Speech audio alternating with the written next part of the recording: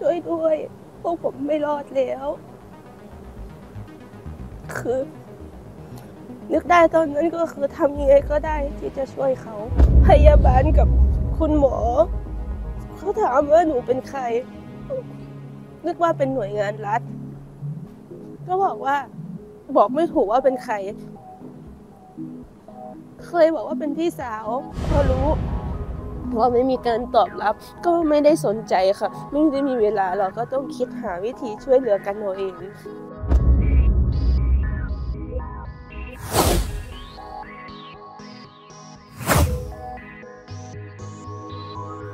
อ่าค่าอย่างเงี้ยมันเข้ามาไม่ได้แล้วค่ะ พยายามเข้ามาภาคพื้นดินเนี่ยแหละคะค่ะทั้งพื้นดินทั้งทางน้ำเขาจะมาแต่เขาเข้ามาไม่ได้ก็คือ แต่ก็ยังมีหลงเหลืออยู่ข้างในบ้าง ก็ตามเก็บ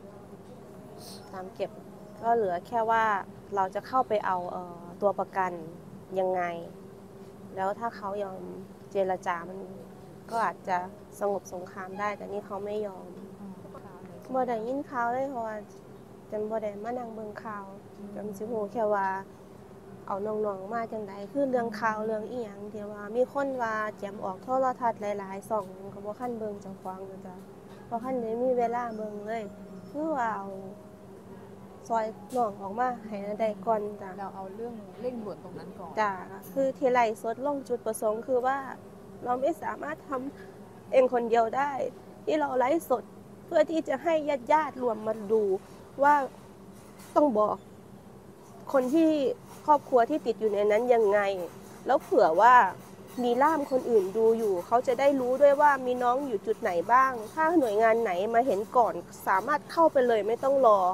ว่าใครจะไปก่อน ใครจะไม่ไปก่อนใครหน่วยงานไหนเข้าไป ถ้ามีใครเห็นไลฟ์คือมีจุดนี้แหละที่มันอันตรายเข้าไปเลยคืออันนี้คือจุดประสงค์ที่เราไลฟ์ตลอดทั้งๆทที่ก็ใจจะขาดแล้ว ไม่รู้เลยค่ะ ว่าช่วยยังไง มันยากลำบากไหมยากรช่วยค่ะเหลือยากคือ นึกไม่ออกเลยว่าเราผ่านมาได้ยังไง จุดแรกแจมพาน้องไปติดต่อที่ไหนก่อน สถานทูตสถานทูตแต่ไม่มีใครรับสาย ไม่มีใครตอบกลับเลยค่ะ พยาบาลกับคุณหมอ เขาถามว่าหนูเป็นใคร นึกว่าเป็นหน่วยงานรัฐ ก็บอกว่า บอกไม่ถูกว่าเป็นใคร เคยบอกว่าเป็นพี่สาว แล้วเขาถามว่าทำไมไม่มีหน่วยรัฐมาดูแลเขาอืมรัฐในหมายหมายถึงว่ารัฐของอิสราเอลเหรอคะของเราของคนไทยค่ะ คือ ทั้งหมอทั้งพยาบาลร้องไห้ตาม แล้วตอนเขาบอกให้เราไปเปลี่ยนเสื้อผ้าจะได้กลับบ้าน ไม่มีอะไรติดตัวเลยค่ะ ไม่มีเสื้อผ้าต้องใส่ชุดพยาบาลออกมา เดินเท้าเปล่าออกมา ไม่มีรถจะกลับ ก็ต้องบวกแท็กซี่ค่ะ พอรู้ว่าไม่มีการตอบรับ ก็ไม่ได้สนใจค่ะ ไม่ได้มีเวลาเราก็ต้องคิดหาวิธีช่วยเหลือกันเอาเองเออแล้วน้องเจมส์กับแม่น้องคิดวิธียังไงในช่วยเอาชาตรีกับโอโน่กลับบ้านในวันนั้นนะคือทางการเขารู้อยู่แล้วว่ามีคนถูกยิง มีคนโดนสะเก็ดระเบิด เขาจะจับไปลงทะเบียนเลย โดยที่ไม่รู้เลยว่า น้องยังไม่ได้เคาะแก้ไหม น้องยังบาดเจ็บอยู่ เขาจะพยายามส่งกลับบ้านให้เร็วที่สุด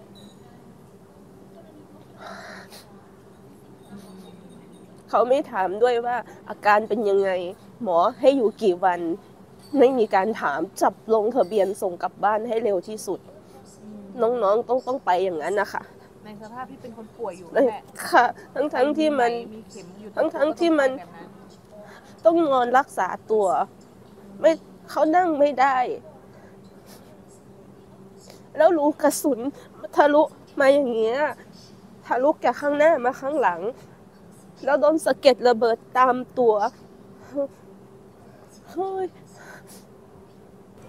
ในตอนนั้นเราไม่รู้เลยค่ะว่าไปยังไงมายังไงแต่ละคน เราแค่เห็นเบอร์โทร หรือว่าโทรทาง messenger มา ตอนนั้นเราก็รับสายรับรับแทบจะทุกสายเลยค่ะ ถ้าเคสไหนที่ว่าหนักๆ อย่างมีฮามาสกำลังลุมจะเข้าอย่างเงี้ย เราก็จะเข้าไปช่วยเหลือทันทีเลย แล้วก็จะมีหลาย ๆ คนที่ยังอยู่ในที่ปลอดภัยแล้วแต่ยังออกมาไม่ได้ อันนั้นยังถ้ามีข้าวมีน้ำอยู่ก็ต้องให้รอรอไปก่อนอย่างเงี้ยค่ะ เราจะช่วยไปตามระดับที่ว่าเร่งด่วนก่อนประมาณเนี้ยค่ะ มีโดโดนยิงตั้งแต่วันแรกเลยตั้งแต่ ตั้งแต่หกโมงหกโมงครึ่งค่ะหกโมงเช้าวันเสาร์วันนั้นนะคือ ระเบิดเข้ามาลูกแรกก็โดนยิงเลย ทั้งระเบิดทั้งฮามาสเข้ามาพร้อมกัน พวกเราทุกคนในประเทศก็คือวิ่งกันแบบ ยังยังไม่ได้ตื่นเลยอะก็วิ่งกันแล้ว ก็คือหลังจากนั้นน้องโดนยิงก็ติดต่อหาพี่เลยแล้วก็พยายามช่วยติดต่อทุกหน่วยงาน เราไม่รู้ว่าจะติดต่อหน่วยงานไหน เราก็โทรไปทั้งอัมบูลันทั้งตำรวจ ทุกทุกทุกทุกหน่วยงานที่เรานึกออก เพราะว่าเราไม่ได้มีความรู้ในด้านนี้เราทำทุกอย่างเท่าที่จะทำได้ค่ะ ในความรู้สึกตอนนั้น มันรู้สึกตื่นเต้นแล้วก็ทำยังไงจะให้เอาน้องออกมาได้ เท่านั้นค่ะ ความความกลัวเราเราไม่รู้ว่ามันอาจจะอยู่ข้างในแต่ว่ามันไม่ได้ออกมา เพราะว่าความที่เราอยากให้น้องรอด อยากได้ให้น้องออกมา มันจะมาโฟกัสตรงนี้มากกว่าค่ะ แต่พอออกมาได้ก็ตัวสั่นเหมือนกัน ดีใจด้วยที่น้องๆ เอาตัวรอดออกมา แล้วก็เสียใจด้วยกับครอบครัวที่ สูญเสียค่ะ ก็อดทนค่ะ เพราะสถานการณ์ตอนนี้ที่น้องๆที่ยังติดออกมาไม่ได้ ทุกคนคิดว่าอยู่ในที่ที่ปลอดภัยแล้ว แค่ภาวะกดดันเฉยๆ ขอให้น้องๆทุกคนตั้งสติ แล้วก็มีสติเอาตัวรอดในสถานการณ์แบบนี้ เพื่อที่เราจะได้รอดออกมาเข้มแข็งค่ะ ก็ช่วยเหมือนเดิมค่ะ ถ้ามีน้องๆติดต่อมาเราก็จะเข้าไป สถานการณ์มันมันคาดการณ์ไม่ได้เลยค่ะ ทางหน่วยรัฐก็ให้ทุกคนอยู่แต่ในเฉพาะพื้นที่ที่ใกล้ๆที่เราสามารถจะวิ่งเข้าไปหลบภัยได้ค่ะ ก็คือทั้ง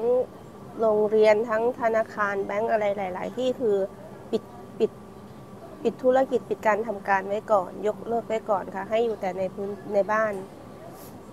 สถานการณ์ที่ว่าทั้งเราเองก็ไม่รอดนี่คือยังยังไม่ถึงวิกฤตนั้นค่ะ ที่สามารถช่วยน้องๆได้ก็คือเราอยู่ในจุดที่ว่ามันปลอดภัย แล้วเรายังเรายังมีแรง เรายังนึกออกว่าเราจะทำยังไงยังไงค่ะ ถามว่าลำบากไหมลำบากมากค่ะ เพราะแม่น้องคนที่ขับรถให้ แกก็ แกก็กลัวค่ะ แกเป็นคนที่กลัว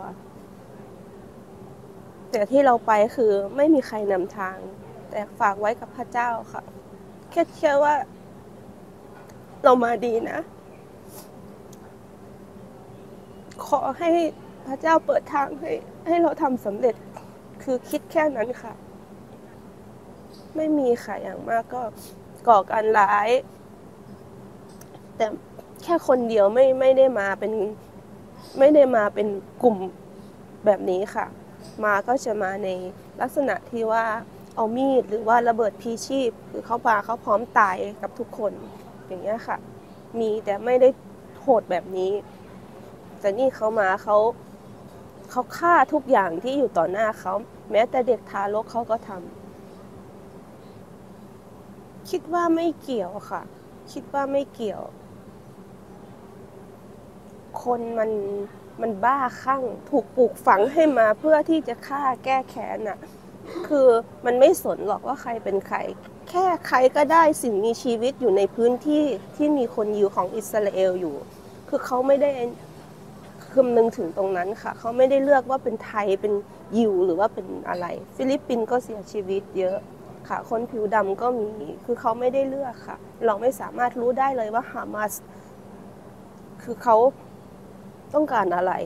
เขาแค่ปลูกฝังเด็กที่เพิ่งคลอดขึ้นมาเนี่ย ไม่มีความแค้นแล้วอะคือจิตใต้สำนึกตรงนี้ เดาไม่ได้หรอกค่ะ ว่าเขาเจาะจงจะฆ่าเฉพาะคนไทย เพราะว่าใครที่อยู่ตรงนั้นมันฆ่าหมดฮามาสนี่ตะโกนไทยแลนด์ไทยแลนด์ เขาตะโกนเออที่ที่จะฟังอันนี้พี่ไม่ไม่ได้ดูคลิปนะ เอาเอาเท่าที่